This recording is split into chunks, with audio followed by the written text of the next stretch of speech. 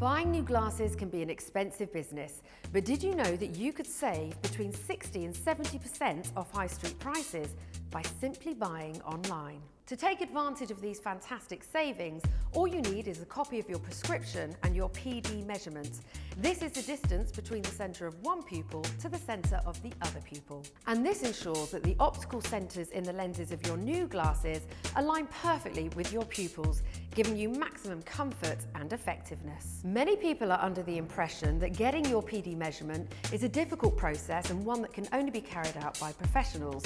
This simply is not true. You can get your PD measurement yourself. In fact, here at Thin Lenses, we've developed an online tool which means you can get your measurements by following the simple steps. Before you start, you will need a passport style photo of yourself wearing your current glasses.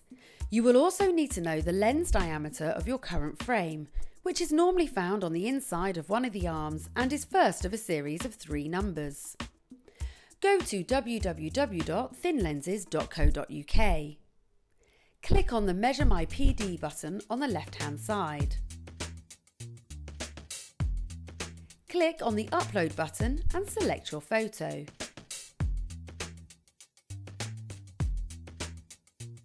Now move the circular markers to the centre of each pupil, then click Next.